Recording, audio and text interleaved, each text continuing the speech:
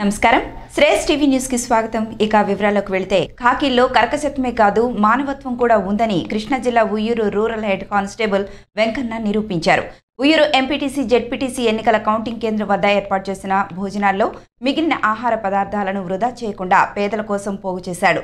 వాటిని రహదారులపై ఆకలితో ఉన్న పలువురు పేదలకు పంచిపెట్టారు.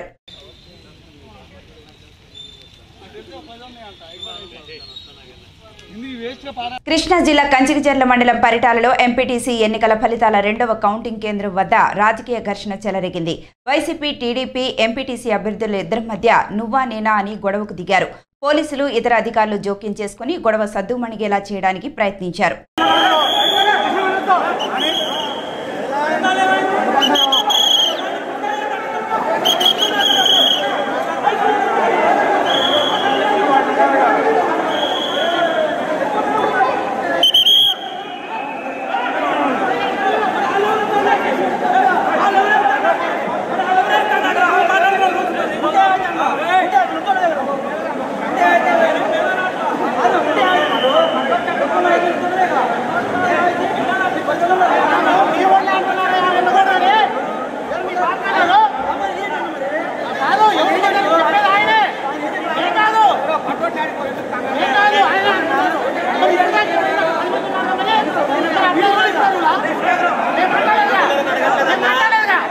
అడగండి కృష్ణా జిల్లా మైలవరం నియోజకవర్గం ఎంపీటీసీ జడ్పీటీసీ ఎన్నికల ఫలితాల్లో వైసీపీ విజయకేతనం ఎగురవేసింది. ఈ సందర్భంగా మైలవరం ఎమ్మెల్యే వెంకట కృష్ణ ప్రసాద్ మాట్లాడుతూ మైలవరం నియోజకవర్గం పరిధిలో నాలుగు జెడ్పీటీసీ స్థానాలకు మూడు జెడ్పీటీసీ ఎన్నికలు జరగగా ఆ మూడింటిని వైసీపీ కైవసం చేసుకుందని తెలిపారు. డెబ్బై మూడు ఎంపీటీసీ స్థానాలకు అరవై తొమ్మిది స్థానాల్లో వైసీపీ విజయభేరి మోగించిందని హర్షం వ్యక్తం చేశారు. తనపై నమ్మకం ఉంచి వైసీపీ అభ్యర్థులను గెలిపించిన ప్రతి ఒక్కరికి ఎమ్మెల్యే కృతజ్ఞతలు తెలిపారు. పంచాయతీలకు గాను యాభై ఐదు పంచాయతీలకు గెలిపించుకోగలిగాం. అదే రకంగా ఈరోజు చరిత్ర తిరగరాస్తూ అన్ని జడ్పీటీసీలు మేమే ఒక జీకొండూరు ఎన్నిక జరగలేదు. మిగిలిన జడ్పీటీసీ జరగటం దాదాపుగా ఈ గెలిచిన జడ్పీటీసీలు ఇటన్నింటిలో చూసుకుంటే కుడియడంగా ఒక నలభై ఐదు వేలు పైన మెజార్టీ దాటిపోయారు మా అభ్యర్థులు. వాళ్ళు పోటీకి నిలబెట్టలేదనేది అవాస్తవం. ఎందుకంటే ముందు జరిగిన పంచాయతీ ఎన్నికల్లో పోటీలో ఉన్నారు. అన్నీ ఓడిపోయారు. కేవలం ఇదే దక్కించుకోగలిగారు. అలాగే ఈరోజు ఎంపీటీసీ స్థానాల్లో కూడా వాళ్ళు పోటీ అనేది కనుక జరపకుండా లేకుండా ఉండుంటే మూడెట్లా గెలిచిండే వాళ్ళు. గెలవరు కదా సాధ్యం మొత్తం సెంట్ పర్సెంట్ మేము గెలిచినవాడు కాబట్టి వాళ్ళు ఎంత పోటీ పడినా ఎన్ని ప్రయత్నాలు చేసినప్పటికీ ప్రజలు మా వెనకే ఉన్నారు. ఇంతటి విజయాన్ని చేకూర్చినటువంటి మైలవరం నియోజకవర్గ ప్రజానీకానికి వైఎస్ఆర్ కాంగ్రెస్ పార్టీ తరఫున నా తరఫున ధన్యవాదాలు తెలియజేస్తాను. కడప జిల్లా రైల్వే కోడూరులో రజక సేవా సమితి ఆత్మీయ సమావేశం నిర్వహించారు. ఈ కార్యక్రమంలో Andhra Pradesh tourism development director Lokidi Jayanna పాల్గొనడం జరిగింది. ఈ సందర్భంగా ఆయన మాట్లాడుతూ రజక సేవా సమితి చాలా మంచి కార్యక్రమాలు చేసిందని ఇంకా ఎన్నో కార్యక్రమాలు చేయాలని ఆకాంక్షించారు. అనంతరం రజక సేవా సమితి సభ్యులు లోగిడి జయన్నను ఘనంగా సన్మానించారు.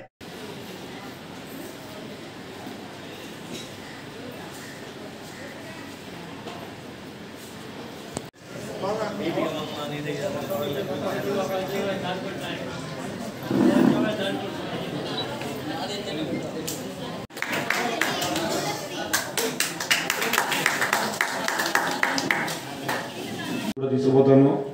ఇక్కడ కాకపోతే ఇంకా పార్టీ దృష్టి కూడా తీసుకుపోయి మన సమస్యను నేను రజకులుగా ఈ పార్టీలో ఉన్నాను కాబట్టి ఖచ్చితంగా ఈ సమస్యను సాల్వ్ చేసేదానికి హండ్రెడ్ పర్సెంట్ నేను కృషి చేస్తాను. ఏదైనా మనం ఇక్కడిక్కడే అనుకోకుండా మీ మీ యొక్క కోడూరు నియోజకవర్గంలో మన రజకుల పైన ఏ సమస్య ఉన్నా కూడా నాకు ఏదైనా మెమరాండం ఇవ్వగలిగితే నేను దీన్ని పార్టీ దృష్టికు ఈ నెల ఇరవై మూడో తారీఖు విజయవాడలో మన రజకుల కార్పొరేషన్ డైరెక్టర్ చైర్మన్ మొత్తం ఈ ఒక మీటింగ్ జరుగుతుంది. రైల్వే కోడూరుకు నేను ఈ ఈ నెలలో నేను రైల్వే కోడూరుకు ఆదివారం మీటింగ్కి వెళ్ళాను. ఈ మీటింగ్లో ఈ సమస్యలు కూడా ఉన్నాయని చెప్పేసి నేను పార్టీ దృష్టికి నేను ఇవ్వగలను మీరు ఏదైనా నాకు ఏది? హెల్త్ పరంగా కానీ సమస్యల పరంగా కానీ హౌసెస్ పరంగా కానీ ఏ ఏ సమస్యను కూడా నాకు మీరు ఇస్తే నేను ఖచ్చితంగా పార్టీ దృష్టికి తీసుకుపోతాను. ఖచ్చితంగా న్యాయం జరిగే విధంగా నేను చేస్తాను. దయచేసి మీరు మనలో మనం మాట్లాడకుండా ఈ సమస్య అనేది కొన్ని ఎందుకు జరగలేదు అనేది కూడా కొన్ని కొన్ని ప్రాబ్లమ్స్ ఉంటాయి. కొన్ని ఎమ్మెల్యే గారి దృష్టికి మీరు పోకపోయిండొచ్చు తూర్పుగోదావరి జిల్లా రాజమహేంద్రవరం ప్రభుత్వ జూనియర్ కళాశాలలో చేరేందుకు విద్యార్థులు చాలా ఆసక్తి కనబరుస్తున్నారు. ప్రైవేట్ కాలేజీల్లో అధిక ఫీజులు చెల్లించలేక అందరూ ప్రభుత్వ కళాశాల వైపే మొగ్గు చూపుతున్నారు. ఈరోజు అడ్మిషన్లు మొదలు కావడం మరోవైపు సప్లిమెంటరీ పరీక్షలు నిర్వహణతో కళాశాల వద్ద విద్యార్థులు వారి తల్లిదండ్రులు బారులు తీరారు. కరోనా నేపథ్యంలో సరైన సదుపాయాలు కల్పించి ప్రజలకు అందుబాటులో హెల్ప్ డెస్క్ ఏర్పాటు చేయాలని విద్యార్థులు వారి తల్లిదండ్రులు కోరుతున్నారు.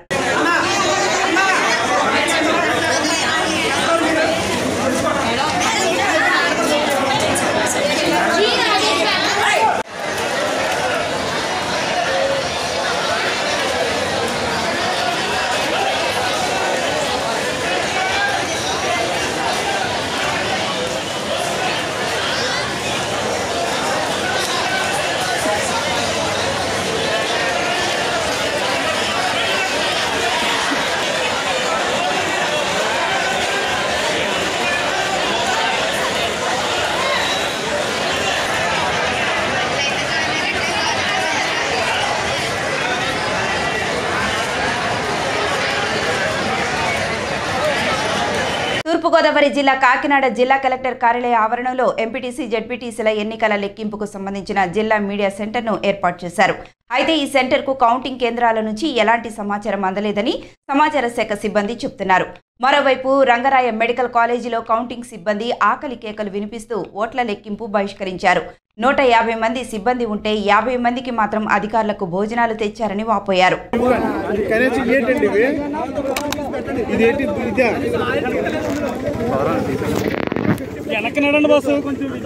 ఆరు గంటలకి మేము రావడం జరిగింది. కనీసంగా మమ్మల్ని వాటర్ బాటిల్ కూడా తెచ్చుకోవడానికి కుదరదని చెప్పారు.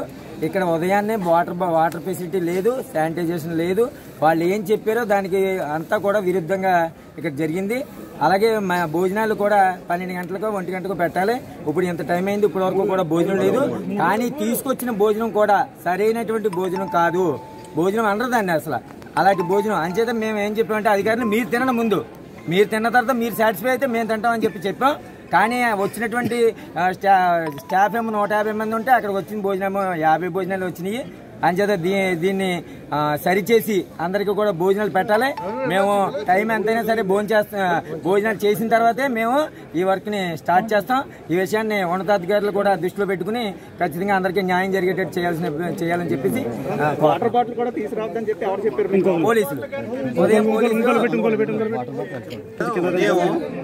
ఉదయం వాటర్ బాటిల్ కూడా తెచ్చుకోవద్దన్నారు. అంటే వాటర్ బాటిల్ తెచ్చుకోవడానికి కౌంటింగ్ మధ్యలో కౌంటింగ్ మధ్యలోంచి బయటికి వెళ్ళిపోతే అక్కడ కౌంటింగ్ ఏం జరుగుతుందో మిగతా వాళ్ళు ఏం చేస్తారో కూడా కన్ఫ్యూజన్ బయటికి వెళ్ళాలంటే అక్కడ ఎక్కడికి వెళ్ళిపోవడం దాంట్లో వాటర్ ముంచుకుని గ్లాసులు అక్కడే తాగేసి అక్కడ వదిలేయడం గ్లాసులు కూడా తక్కువ. మార్నింగ్ టిఫిన్ అరేంజ్ చేస్తాం ఆరు గంటలకు అన్నారు. టిఫిన్ ఒక యాభై మందికి వచ్చి ఉంటుంది. ఇక్కడ మీరు ఎంతమంది చూపించగా ఒక ఐదు వందల మంది అబో పైన ఉండి ఉంటారు కౌంటింగ్ వచ్చిన వాళ్ళు. మార్నింగ్ డైరెక్ట్ టిఫిన్ లేదు. యాభై మందికో వంద యాభై మందికి అరవై మందికో ఛాయ్ ఉండి ఉంటుంది. టీ కూడా దొరకలేదు. ఆరు ఉదయం ఆరు గంటల నుంచి ఇప్పటి వరకు మాకు టీ కూడా లేదు. పాత ఒక మూడు. స్టాండింగ్ సార్ ఆరు గంటల నుంచి స్టిల్ ఇప్పుడు వరకు రెండున్నర వరకు స్టాండింగ్ నిలబడాలి చేస్తే మన సోదరులు సోదరిమణులు కూడా స్టే బలదని నిలబడి కొంతమంది రూముల్లో పడిపోయారు కింద కళ్ళు తిరిగి. వాళ్ళ పరిస్థితి లేదు. అలాగే ఉండిపోయింది. ఎవరు పట్టించుకునే వాళ్ళు లేరు. పట్టించుకోవడం అంటే వాటర్ కావాలంటే బయటకు వెళ్ళిపోండి తాగండి. అంతే పరిస్థితి. ఇప్పుడు రెండున్నర అవుతుంది భోజనం లేదు. ఒక యాభై మంది వచ్చారండి ఇంత దద్దోజనం ఇంత పులిహార. భిక్ష వేస్తున్నారు భిక్ష. భిక్ష వేస్తున్నారండి ఒక్కొక్క టేబుల్ దగ్గర ఒక్కొక్క టేబుల్ దగ్గర ఐదే ఐదేసి పిఎస్ టెస్ట్ పిఎస్ నెంబర్లు ఉన్నాయి. అంటే ఐదేసి బాక్సులు morning round number one round number two. పది బాక్సులకి ఇద్దరు అసిస్టెంట్లు ఒక సూపర్వైజర్. ఏం పీకుతాడండి ఆడు? ఏం ఎంతసేపు లెక్కిస్తారు వాళ్ళు ఇంకా బోల్డ్ మంది స్టాఫ్ ఉన్నారు కదా? టీచర్స్ ఇంకా బోల్డ్ మంది ఉన్నారు కదా? అసిస్టెంట్లు ఇంకా నలుగురు ఐదు వేసుకోవచ్చు కదా? ట్రైనింగ్ వచ్చిన వాళ్ళని కూడా రిజర్వ్ అని చెప్పేసి పంపేశారు వాళ్ళందరినీ. ఎందుకు ఎందుకు పంపేయాలి వాళ్ళని? ఎవరి కోసం పంపేశారు వాళ్ళని? సంతకాలు చేయించుకున్నారు. మీకు భోజనాలు రాలేదు కదా మీరు మళ్ళీ కౌంటింగ్ వెళ్తున్నారు సరే ఓపిక లేదు సార్ పడిపోయాను ఇప్పుడే నేను పడిపోయాను సార్ రావాలి, గవర్నమెంట్ ఎంప్లాయీ జాబ్ ప్రకారంగా జాబ్ జాబ్ చెట్ ప్రకారంగా మేము జాబ్ చేయాలి సార్. ఒక గంట లేట్ అయినా చేస్తాం. కానీ కడుపుకి అన్నం పెట్టాలి కదా సార్ మాకు. మేము డబ్బులు అడగట్లేదు. తినడానికి తిండి అడుగుతున్నాం. భోజనం పెట్టే వరకు మేము డ్యూటీకి అటెండ్ అయ్యే పరిస్థితి లేదు సార్.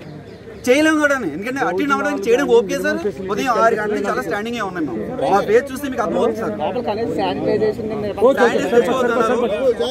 సార్. మహబూబ్ నగర్ జిల్లా దేవరకద్ర మండలం పెద్ద రాజామూర్ గ్రామంలో ముగ్గురు స్నేహితులు సరదాగా కలిసి చెక్ డ్యాంలో ఈతకు వెళ్ళి ప్రమాదవశాత్తు జోగి బాను అనే యువకుడు చెక్ డ్యాంలో పడి మృతి చెందాడు. తనకు ఈత వచ్చినా కూడా నీటి లోపల ఉన్న ఆకుల తీగ కాళ్ళకు తట్టుకొని బయటకు రాలేని పరిస్థితిలో చనిపోయారు. మిగతా ఇద్దరి స్నేహితులకు ఈత రాకపోవడంతో చూస్తుండిపోయారు. తల్లిదండ్రులకు ఒకే ఒక్క కొడుకు కావడంతో కుటుంబ సభ్యులు తీవ్ర శోకసంద్రానికి గురయ్యారు.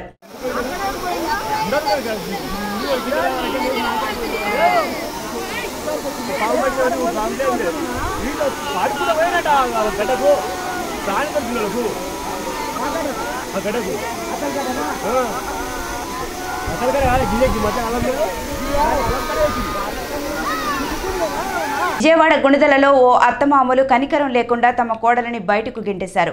కొడుకు చనిపోవడంతో కోడల్ని ఇద్దరు ఆడపిల్లల్ని బయటికి గెంటి తాళం వేసుకున్నారు. ఇద్దరు పిల్లలతో కలిసి అత్తగారి ఇంటి ముందే కూర్చొని అర్చన అనే వివాహిత నిరసన తెలుపుతోంది. తమ కొడుకు చనిపోయాడు. ఇక ఈ ఇంటికి నీకు సంబంధం లేదని నిర్దాక్షిణ్యంగా తనను తన పిల్లల్ని బయటికి తోసేశారంటూ ఆమె వాపోయింది. ముప్పై లక్షల కట్నం ఇచ్చి మరీ ఘనంగా వివాహం చేసిన తమ కూతురికి ఈ పరిస్థితి రావడంతో బాధితురాలి తల్లిదండ్రులు ఆవేదన వ్యక్తం చేస్తున్నారు. తనకు న్యాయం చేయాలంటూ ఆ మహిళ వేడుకుంటోంది. అంత సమస్య వస్తే ఆ రోజు మేము కూడా ఒక లాయర్ పెట్టుకుంటాం. వచ్చింది. మేము కూడా మాట్లాడతాం. అప్పుడు మేము కోర్టులో మాట్లాడతాం. ఆడదానికి పోవద్దు సమస్య సమస్య ఆడదానికి పోవద్దనే ఇవన్నీ అనవసరం. పదండి. మా గోపి వస్తాడు. వేరే మీ నాన్న ఫోన్ ఆయన చూపిస్తాడు అక్కడ కూర్చోండి నేను వచ్చేస్తాను. Ten minutes. నేను రానని చెప్పట్లేదు. నేనేం మొహం చాట్ వేయలేదుగా నేను మొహం కాదండి మీరు. నేను మాట్లాడింది మీరు ఇంట్లో కూడా రానియకుండా మీరు ఇట్లా తాళం వేయడం అయితే అక్కడ పద్ధతి సెటిల్ కాదు. అయిన తర్వాత అక్కడ ఎక్కడ- సెటిల్ అయినాక మీ మ్యాటరు ఇప్పుడు మీరు సెటిల్మెంట్ గురించి ఎందుకండి? ఇప్పుడు ఒక పని చేద్దాం. ఒక- ఆగు, ఆగు, ఆగు. ఒక ఒక పని చేద్దామండి. ఒక పని చేద్దాం. పోదాం. లాయర్ దగ్గర పోదాం. ఓకే. మేము ఒక పది నిమిషాలు మీతో పర్సనల్గా మాట్లాడతాం అసలే మాట్లాడదు నేను మాట్లాడుతున్నాడు మా లాయర్. నా దగ్గర పంపించండి మనం అక్కడ కూర్చొని నేను వాళ్ళతో ప్రైవేట్గా మాట్లాడతాను మళ్ళీ మీరు వచ్చి మీతో మాట్లాడతాను మేము అక్కడ లాయర్తో మాట్లాడండి. మీతో మాట్లాడడానికి. చేయలేము ఇంకా మాట్లాడకపోతే నేను మాట్లాడలేను సరే మీరు ఇంట్లోకి రానిస్తలేరు కిందనన్నా కూర్చోండి. ఆ? ఇక్కడ కిందనన్నా రండి ఆయన అసలు మాట్లాడద్ద ఇంటికి రావద్దంటే కుదురుతుంది అక్కయ్య గారు. మీరు అట్లా మాట్లాడడం తప్పు కదా. ఎందుకు చేస్తారు? మీ మీద పెత్తనం? వచ్చినట్టే ఉండాలి వినయంగా. పెత్తనం ఎవరు చేయలేదు అక్క ఎవరిది వాళ్ళకే ఉంటది.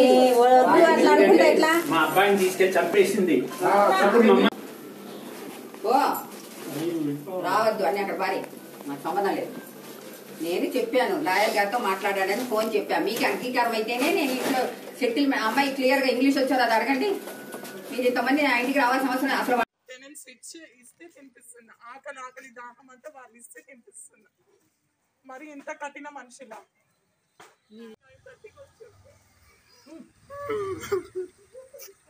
అన్న నువ్వు ఏడవకన్నా నీ హెల్త్ బాగాలేదు ఏడుపు మిగిలిచ్చిండ్రు. ఆయన కోవిడ్ ఉందని చెప్పేసి ఎన్ని రోజుల నుంచి రాలేదండి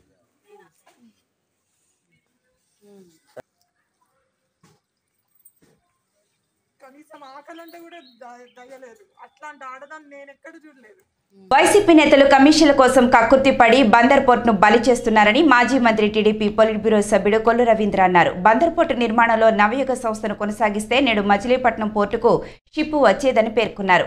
బందర్ పోర్టు కోసం టీడీపీ భూ సమీకరణ చేస్తే రైతులకు ఏదో అన్యాయం జరిగిపోతుందని వైసీపీ నాయకులు నానాయాగి చేశారని మండిపడ్డారు. పోర్టు నిర్మాణంపై మంత్రి పేర్ని నాని డబ్బా కొడుతున్నారని ఇంకా పోర్టు పనులు ఎందుకు స్టార్ట్ చేయడం లేదని ప్రశ్నించారు. బందరు ఎంపీ బాలశౌరి చుట్టం చూపుకు వచ్చినట్లు మచిలీపట్నం వస్తున్నారని ఎద్దేవా చేశారు. టీడీపీ హయాంలో రైతులకు ఎకరాకు ఇరవై ఐదు లక్షలు ఇచ్చామని మీరు కూడా రైతులకు డబ్బులు ఇచ్చి పనులు ప్రారంభించండని సవాల్ విసిరారు. వైసీపీ నేతలు పోర్టు భూములను తాకట్టు పెట్టి డబ్బులు దండుకోవాలని చూస్తున్నారని దుయ్యబట్టారు. గంగవరం పోర్టు అమ్మేసిన మీరు మచిలీపట్నం పోర్టు నిర్మాణం చేస్తారని అనుకోవడం ప్రజల భ్రమ అని అన్నారు. వైసీపీ నేతలకు భయపడి ఎవరు టెండర్లు వేయడానికి ముందుకు రావడం లేదని తెలిపారు. బందర్ పోర్టు కోసం టీడీపీ పూర్తిగా సహకరిస్తుంది. మీరు పోర్టు నిర్మాణం చేయండి అని స్పష్టం చేశారు. పనులు స్టార్ట్ చేస్తే ఈ జగన్మోహన్ రెడ్డి ప్రభుత్వం వచ్చిన వెంటనే ఆ టెండర్ని క్యాన్సిల్ చేసి మళ్ళీ పోర్ట్ నిర్మాణం మేమే చేస్తామని చెప్పి చెప్పడం జరిగింది. అయ్యా జగన్మోహన్ రెడ్డి గారు దాదాపు రెండున్నర సంవత్సరాలు పూర్తవుతోంది. ఎక్కడ బందరు పోర్ట్ అని బందరు ప్రజలే కాదు యావత్ ఆంధ్ర రాష్ట్ర ప్రజలు ఎదురు చూస్తూ ఉన్నారు. అసలు ఈ ముఖ్యమంత్రి గారికి కేవలం ప్రకటనలకే మంత్రివర్గ సమావేశంలో డిస్కస్ చేశారని పేపర్కి వస్తుంది. స్థానిక మంత్రి దాని మీద వచ్చి ఇక్కడ ప్రెస్ మీట్లు పెట్టి చెప్పడం. మారిటైమ్ బోర్డుని ఏర్పాటు చేశాం. దాదాపు నాలుగు వేల ఏడు వందల కోట్లు మేమే సమీకరణ చేస్తాం. ఎనిమిది వందల ఎకరాల్లో పోర్ట్ నిర్మాణం చేస్తామని చెప్పి ప్రకటన చేశారు. గత ప్రభుత్వంలో పాతి లక్షలు ఇచ్చారు మాకు డబ్బులు వస్తాయని చెప్పి ఎదురు చూస్తూ ఉన్నారు వాళ్ళందరూ భూములు ఇస్తాక సిద్ధంగా ఉన్నారు. అవసరమైతే ఇంకొక పది రూపాయలు ఎక్కువ ఇప్పించాలి. ఎందుకంటే వాళ్ళు మీరు ఇప్పిస్తున్నారు కదా ఇళ్ళ స్థలాల కోసం నలభై లక్షలు. మేము కూడా డిమాండ్ చేస్తాం నలభై లక్షల రూపాయలు చొప్పున ఇంకా భూమి ఎంత కావాలో మీరు తీసుకుని పోర్టు కట్టండి. రైతులు ఒప్పించడానికి మేము కూడా వస్తాం మీతో పాటు. మాకు కావాల్సింది బందర్ పోర్టు నిర్మాణం. అలాంటి కార్యక్రమాలు చేయకుండా మీరు మీ చిత్తశుద్ధి ఎంత ఉందనేది కనపడతా ఉంది. ఇక మంత్రిగా ఎంపీ గారు పార్లమెంట్ సభ్యులు ఉన్నారు బాలశౌరి గారు. ఆయన అప్పుడప్పుడు అప్పుడప్పుడు కూడా రారు. ఏదో చుట్టాలు వస్తారు చూసారు ఇంటికి? సంవత్సరానికి ఒకసారి అట్లా చుట్టం చూపుగా వచ్చి వెళ్ళిపోతుంటాడు ఆయన. ముఖ్యమంత్రి గారి దగ్గరికి బ్యాంక్ వాళ్ళు తీసుకెళ్ళి బ్యాంక్ వాళ్ళతో పోర్టుకి డబ్బులు ఇచ్చేస్తున్నారు. కెనరా బ్యాంక్ ఏదో బ్యాంక్ వాళ్ళని తీసుకుని వెళ్ళాడు ఆయన. ముఖ్యమంత్రి గారి దగ్గరికి. ఎక్కడ ఎంపీ గారు? బందర పోర్ట్ ఎక్కడ? అయ్యా పేరు నాని గారు బందర పోర్ట్ ఎక్కడా? ఎందుకండి జనాన్ని ఇలా మభ్యపెడతారు మిమ్మల్ని నమ్మే పరిస్థితులు లేరు. ఈ ముఖ్యమంత్రి ఈయనకి నిజంగా చిత్తశుద్ధి ఉంటే గంగవరం పోర్టులో ఉన్నటువంటి టెన్ పర్సెంట్ షేరు ఎనిమిది వందల కోట్లకు అమ్మేశారే? ఇది ప్రభుత్వం పోర్టు కడతంటే నమ్ముతారని జనాలు కూడా ఉన్న పోర్టు మీద ఉన్నటువంటి టెన్ పర్సెంట్ షేర్ని మీరు అమ్మేశారు అక్కడ. కమిషన్ల కోసం కక్కుర్తిపడి. ఇవాళ మచిలీపట్నం పోర్టు ఐదు వేల ఎనిమిది వందల కోట్ల రూపాయలతో కడతారంటే ఇవాళ నమ్ముతారండి ఎవరన్నా?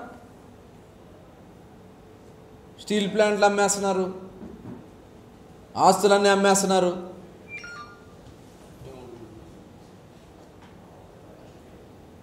చివరికి తిరుమల తిరుపతి దేవస్థానంలో ఉన్నటువంటి కమిటీ సభ్యులకు కూడా పదవులు అమ్మేశారు.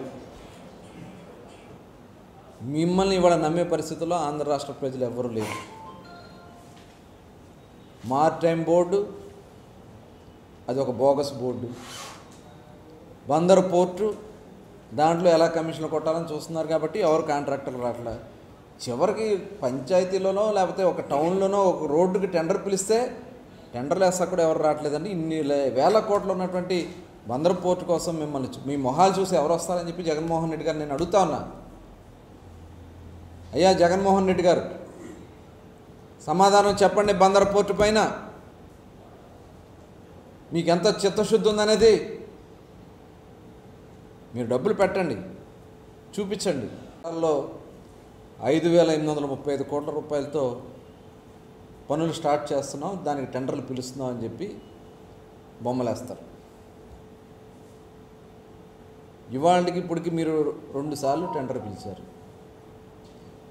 మీ మీద ఎంత నమ్మకం ఉందో ఇవాళ కనపడతా ఉంది మీకు ఎంత చిత్తశుద్ధి ఉందనేది కనపడతా ఉంది. ఇప్పటికి రెండుసార్లు పిలిచారు. రెండు వేల ఇరవై ఒకటి జూన్లో పిలిచారు. ఒక్కళ్ళు టెండర్ ఇలా రెండు వేల ఇరవై ఒకటి ఆగస్టులో పిలిచారు. ఒక్కళ్ళు కూడా టెండర్ లేలా. అసలు మీ మీద ఎంత నమ్మకం ఉందో ఇక్కడ కనపడుతోంది అదే కంటిన్యూ చేస్తున్నట్టయితే ఈ పాటికి బందర్ పోర్టుకి షిప్ వచ్చేది. ఆ రోజున అవయోగ సంస్థనే మీరు కంటిన్యూ చేస్తున్నట్టయితే ఆ టెండర్నే కంటిన్యూ చేస్తున్నట్టయితే వాటికి షిప్ వచ్చేది బందర్ పట్టణానికి మీ స్వార్థం కోసం దాన్ని వాడుకోవాలనే ఉద్దేశంతో మీ కమిషన్లకి కక్కుర్తపడి ఆ రోజునేమో వాళ్ళు బీఓటి కింద బిల్డ్ ఆపరేషన్ తర్వాత వాళ్ళే దాన్ని కట్టుకునే విధంగా వాళ్ళు బీఓటీ కింద చేస్తే ట్రాన్స్ఫర్ కింద వాళ్ళు చేస్తే బీఓటీ కింద బిల్ట్ ఆపరేషన్ ట్రాన్స్ఫర్ కింద వాళ్ళు ఆ రోజున చేస్తాడు కంప్లీట్ చేసేవాడు రెండు వేల ఇరవై ఒకటి కల్లా షిప్ వచ్చేది మచిలీపట్నానికి. కేవలం మీ స్వార్థం కోసం. ఎందుకంటే కమిషన్లకు కక్కుర్తిపడి మీరు ఈ భూములను తాకట్టు పెట్టి దాని నుంచి డబ్బులు తెచ్చుకుని కాంట్రాక్టర్ దగ్గర కమిషన్ కొట్టేయడం కోసం రీటెండర్ పెట్టి ఇవాళ మీ మీద ఎంత నమ్మకం ఉందో ఇక్కడ కనపడతా ఉంది. స్థానిక మంత్రి పేర్ని నాని గారు డబ్బాలు కొడతా ఉంటాడు. అయ్యా పేరు నాని గారు ఆ రోజున బందర్ పోర్టు కోసం మేము చక్కటి ప్యాకేజ్ ఇచ్చి భూ సమీకరణ ఎకరానికి ఇరవై ఐదు లక్షలు వాళ్ళు ఇష్టపూర్వకంగా బ్యా ల్యాండ్ పర్చేస్ స్కీమ్ కూడా పెట్టాం ఆ రోజున. ఎందుకంటే ఆ రేటు తగ్గకూడదు. నలభై లక్షలు యాభై లక్షలు కూడా ఇప్పించాం. ఆ రోజున మేము చేస్తామంటే రోడ్లు ఎక్కి హడావుడి చేసావే? రైతులకు అన్యాయం జరిగిపోతుందని చెప్పి మాట్లాడావే? ఇవాళ రైతులకేమో భూముల కింద పోటీ కోల్పోయారు. తప్పకుండా దీన్ని వందర పోటీ అయ్యే వరకు మేము ఎంతటి ఉద్యమాలకైనా వెనకాడే సమస్య లేదు. ఇది ప్రజల చిరకాల వాంఛ.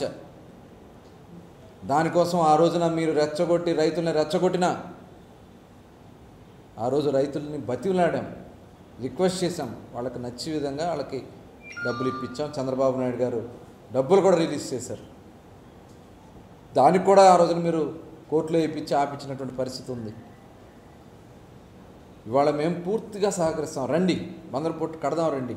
కట్టించండి మీరు కట్టించండి మేము చూ- మేము సహకరిస్తాం. ఇవన్నీ బోగస్ మాటలు చెప్పి ప్రజలు మభ్యపెట్టి ముందుకెళ్ళాలని చూస్తూ ఉన్నారు.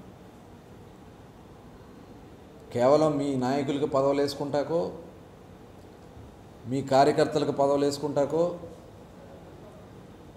ఇక్కడ వేశారు ముడా మేము మచిలీపట్నం అర్బన్ డెవలప్మెంట్ అథారిటీ అనే సంస్థను మేము ఏర్పాటు చేసాం ఎందుకోసం ఏర్పాటు చేసాం మందర పట్టణాన్ని ఒక పురాతనమైనటువంటి పట్టణం వందల సంవత్సరాల చరిత్ర కలిగినటువంటి పట్టణం భారతదేశంలోనే రెండో మున్సిపాలిటీగా ఉన్నటువంటి బందర్ పట్టణాన్ని ఒక అద్భుతమైనటువంటి నగర నగరంగా తీర్చిదిద్దాలని చెప్పి మచిలీపట్నం అర్బన్ డెవలప్మెంట్ కమిటీ అనే అథారిటీ అనే ఒక సంస్థను ఏర్పాటు చేస్తే అపహాస్యం చేశారు మీరు.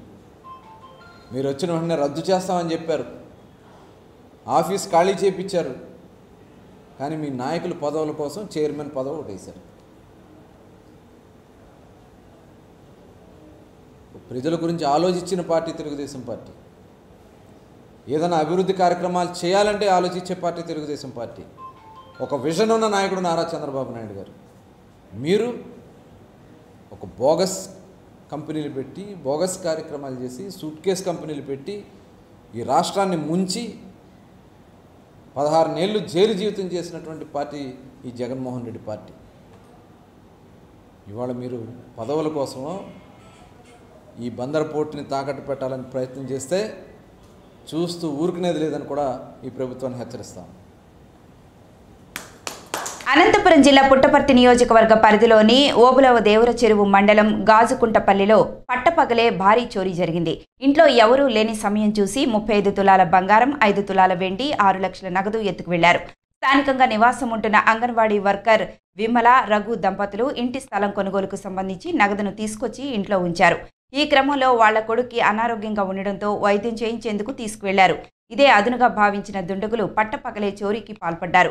ఇంటి తలుపులు బద్దలు కొట్టి లోపలికి ప్రవేశించి దోచుకున్నారు. ఫిర్యాదు అందుకున్న పోలీసులు సంఘటనా స్థలానికి చేరుకున్నారు. క్లూస్ టీంను రపించి ఆధారాలు సేకరించే పనిలో పడ్డారు.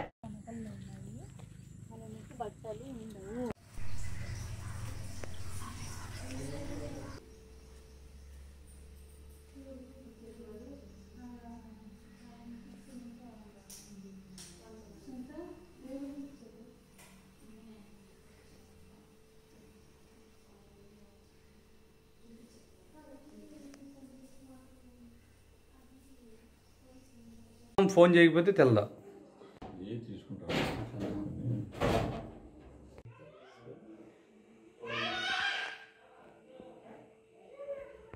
ఏ ఏ ఛానల్లో ఇది మహా న్యూస్ మహా న్యూస్ మహా న్యూస్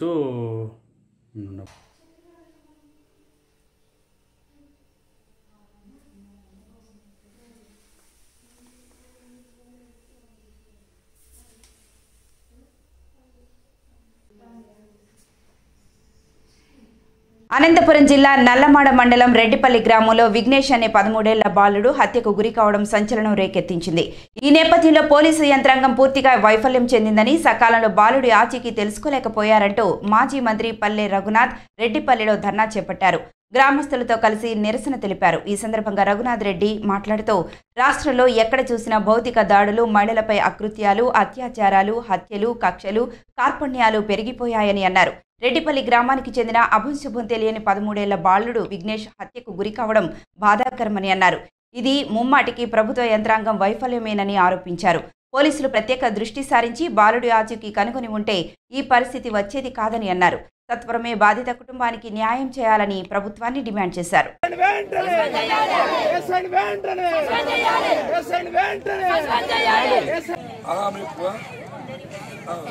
చాలా ఘోరంగా ఉంటుంది కాబట్టి దీని మీద తగిన చర్యలు తీసుకుంటా తీసుకోవాలి. నేను కూడా మీ వెంట ఉంటా. ఈ పోలీసులు నిర్లక్ష్యం చేశారు. కొద్ది ముందుగా కానీ చేసింటే ఇంత దారుణం జరిగింది కదా. సకాలంలో స్పందించలేదు. సకాలంలో స్పందించుంటే దీని చాలా ఎదురు పోయినది కూడా తప్పకుండా హృదయపూర్వకంగా మీకు సపోర్ట్ చేస్తాం. ఎందుకంటే పాపం ఆయమని చూస్తే కడుపు తప్పపోతుంది ఈయన చూస్తే కన్నీ లాగడం లేదు. చాలా ఘోరమైన పరిస్థితి.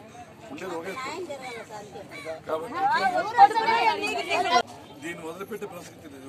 మీరైనా మేమైనా ఒకసారి సీనియర్ చూస్తారు బాయ్ దగ్గర అది చూస్తే నాకు అర్థమవుతుంది. మీరు కూర్చొని నేను చూసుకొని వస్తాను సరే సార్. Okay sir. చూసుకొని రండి. తీసుకొని వాళ్ళని దగ్గర పిల్లనిపించే మా బిడ్డను మాకు ఇప్పించింటే ఎంత సంతోషం ఉందా బిడ్డ అమయం సోమదేలే పద్నాలుగేంట్ల మా బిడ్డకు కిరసనాయలు బట్టి కాల్చాల్సిన అవసరం ఏముండే? నీకుందా? వాళ్ళ తల్లిదండ్రుల మీద చూపించుకో. ఆ బిడ్డను నువ్వు రేపు రాబోతే ఆ బిడ్డనైనా చూస్తావు. ఇంకా మాకేం చెప్తుంది నాయన చెప్పమని కోర్టు. పోలీసు వాళ్ళు అంటే రాకూడదు. సౌడ పెనకలు ఎవరున్నాడో ఎవడెవడు? ఎందుకు? మెయిన్ పాయింట్ మాకు కాల్సింది దీనికి. ఇంత జవాబు మా దగ్గర ఉంది. ప్రశ్న లేదు. ఎందుకు లేదంటే ఆ బిడ్డను ఎందుకు చంపినారు అనేది మాకు తెల్ల. ఎందుకు చంపినారు? ఎందువల్ల? బంగారు వల్ల డబ్బు వల్ల ఆ బిడ్డ బాడీలో ఏమైనా పార్ట్స్ వల్ల చంపినారా? మాకు న్యాయం కావాలా? దాన్ని మీరు ఏం చేస్తారు పేపర్కి ఇచ్చినారంట. బిడ్డ అన్యాయమైనది పేపర్కి ఇచ్చినదంట వాళ్ళకు కూడా నేను చెప్తాన్నా. ఫస్ట్ పేపర్ తీసుకొని మర్యాదగా తీసుకోండి. లేదంటే మెట్లు ఇదిగా తట్టు కొట్టేస్తా మెయిన్ పాయింట్ నల్లమాడ మండలంలోని రెడ్డిపల్లిలో ఒక అబ్బు శుభము తిరిగి అమాయకుడు విద్యార్థి పద్నాలుగు సంవత్సరాల వయసున్న విఘ్నేష్ను కిడ్నాప్ చేసి అతి దారుణంగా కిరాతకంగా హత్య చేసి బావిలోకి వేయడం ఈ వార్తలు ఇంతటితో సమాప్తం. నమస్కారం.